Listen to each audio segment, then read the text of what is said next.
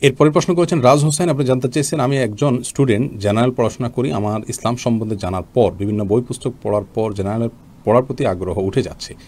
এখন আমার করণীয় কি? কারণ ইন্ডিয়ার বেশিরভাগ সাহিত্যে হিন্দুত্ববাদের বীরত্ব প্রকাশ করে। ভাই, রাজ হোসেন, আপনি ইন্ডিয়া থেকে প্রশ্নটি করেছেন, আপনার প্রতি আমাদের বিশেষ আন্তরিকতা থাকল, দোয়া থাকল। আল্লাহ রব্বুল আলমিন আপনার জন্য সহজ করুন সব কিছুকে প্রতিকূল পরিবেশে, দিন এবং ইমান নিয়ে যেন টিকে থাকতে পারেন। আপনার জন্য, আমাদের সকলের জন্য আমরা দোয়া করছি।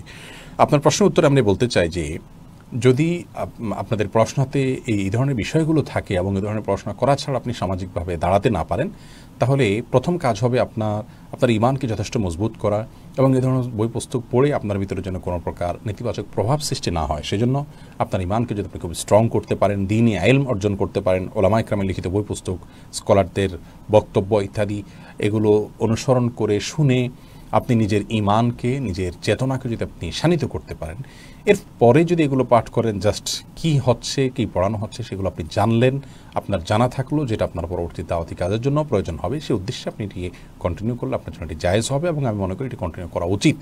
এইভাবে, এই পদ্ধতিতে। যদি আপনি এখান থেকে কোনোভাবে আপনি প্রভাবিত হয়ে যাবেন, সে আশঙ্কা আপনার থাকে, তাহলে সেক্ষেত্রে অবশ্যই আপনার জন্য কন্টিনিউ করা উচিত নয়। সেক্ষেত্রে আপনি হালাল উপার্জনের জন্য বহু পথ আছে, সেগুলো আপনি অবলম্বন করবেন এবং নিজে থেকে যে জাগতিক জ্ঞানের বিষয় আছে সেটা অর্জন করা অবশ্যই জরুরি। প্রত্যেক মুসলমানই চেষ্টা করা উচিত সাধ্য অনুযায়ী জানা। তো সেটি আপনি করবেন নিজস্ব উদ্যোগে এবং তার সাথে তিনি শিক্ষা অর্জন করবেন। আদালত সহজ করুন।